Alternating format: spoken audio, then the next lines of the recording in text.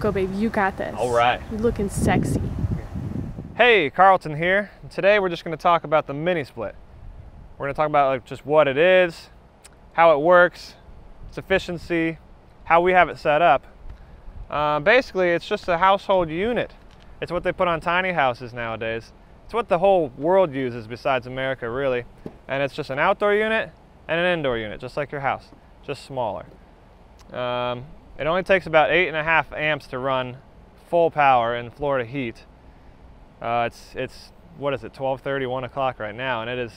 You probably can't even hear it running on the microphone, but it is blowing cold. It's freezing in there. Um, we just have it set up. If you want to look, we just have it set up on a hitch carrier. It's a double hitch carrier, so we can still tow our car. We have the extension and it's sitting on top. We just have these here so it stops the rattle. Doesn't move. We just did a 4,000 mile trip.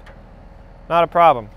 These are the lines. This is our um, our 110, just a regular 110 hookup. We just plugged it into the breaker where our other air conditionings were. We don't have either air conditioning on top anymore.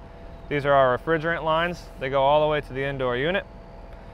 And we just have it strapped on. I just like to feel safer. Um, if you want to see over here, we're actually only plugged in on a regular 110 outlet. So we're at we're at Tony's mom's right now because the RV parks won't let us in yet until they clear from Hurricane Irma. So we are just plugged in with one a 100 foot cable and with an adapter into an adapter into an adapter into our 50 amp hookup. And that is giving us enough power to run the air conditioning. We can go inside and we'll see.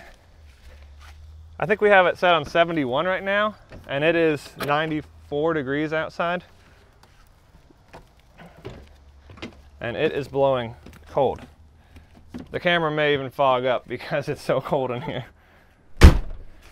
But this is it. This is the indoor unit. It shows right here, I don't know if you can see it, it says 71. This, uh, this is pretty cool. the little gate goes up and down and throws air everywhere. But these are our indoor lines. So you're supposed to go outside of a normal house and drill through the wall, which we're not going to do in a motorhome. So we went down, actually cut a hole in our desk and went straight down into the floor. And that runs about 35 feet back to the outdoor unit.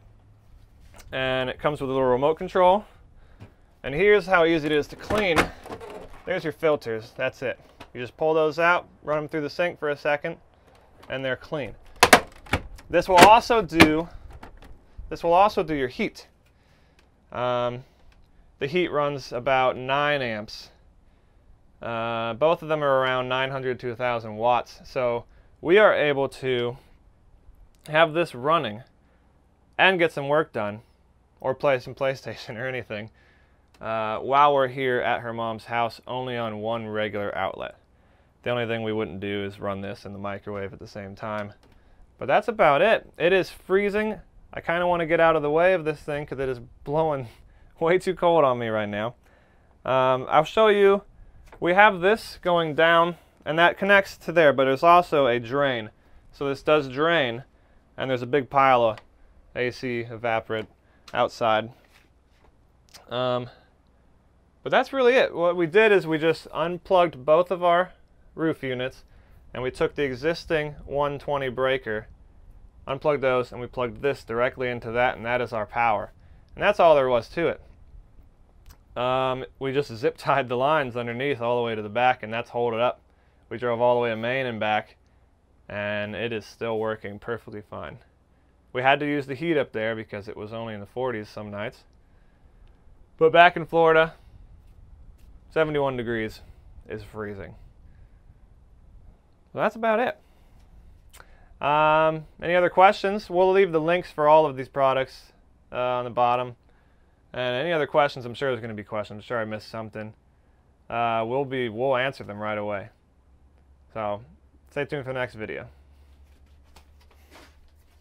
that was good. That was good. All right.